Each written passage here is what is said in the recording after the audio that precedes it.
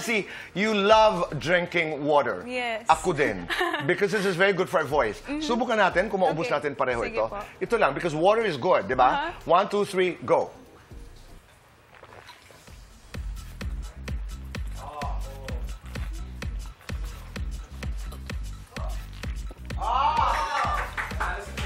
Ah, panalo si Chelsea. Di ba? Okay, you have a very good attitude about bashing. Opo. Wh- what do you do? Anong ginagawa mo? Um, bata pa lang ako kasi nababash na po talaga ako. Yung parents ko, lagi naman nila akong tinuturuan how I would cope with it. To, So how do you do it? to never listen to them, never let it get into your heart. Kasi maapektuhan ka. Things will will change. You know, if you will let yourself affected dun sa mga sinasabi nila, they would call me names, um, very harsh names na na naapektuhan ako na I would look at myself, hindi na ako maganda. So, Tama.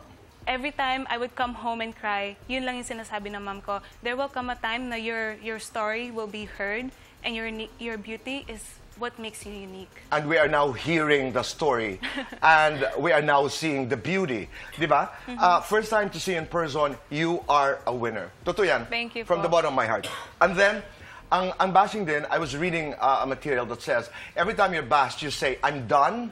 I'm not going to allow whatever you say into my space Mm-hmm. because I worked so hard for my peace. Okay? Let's talk about the top 10. Nung natawag kang top 10, mabilisan lamang, anong nasa isip mo? May laban ako?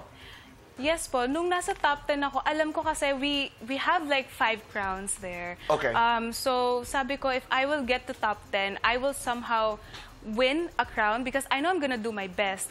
I don't, I, I see may mga kasama pa po kasi ako na Okay. front runners, may mga deserving of the Miss Universe So hindi mo crown. iniisip pa yung Miss Universe Philippines That time, crown? hindi pa po Okay. talaga. Top five. Nawala si Miss Iloilo, your best friend. How did that feel? Kinabahan ka ba? Well, I feel, of course, when I got into the top five, I was already eyeing na lang for the Miss Universe crown. Sabi ko, I'm gonna give it my all. When I went out the stage, I'm gonna give it my all. I'm going to smile and win, with or without the crown, I have already made history of being a woman of representation. Okay, but uh, si Miss Iloilo, who was one of the strongest, Yeah. uh, hindi napasama sa top five. Anong inisip mo? Well, behind the stage... Or hindi mo napansin yun? Actually, nung tinawag na po ako sa five, I don't know if it was seen, but I looked at her. Oh. And she kind of gave me that smile, nodding her head. Okay. You know, because I know that this is not just a victory for me. It's not just a crown for me. It's a crown for every woman. And it's a crown for my best friend, Alexi, Okay. too. Q&A, you nailed it. Salamat you po. nailed it. Okay? Top two, naghahawakan kayo ni Miss Kainta. What was in your mind? Ikaw ba yung tipong sana akong mananalo? Huwag ka naman sana manalo. I mean, what actually goes on in the mind of someone who is there? At that time, I was praying so hard. I was praying so hard na bigyan ako What ng... was that prayer like? to for God to give me that that sign to give me the crown because I knew I came into the competition and I wanted Miss Universe. I love Ate Stacy. I was telling her how much I loved her. I think that was the conversation that we were I was telling her while we were hold, holding each other's hand.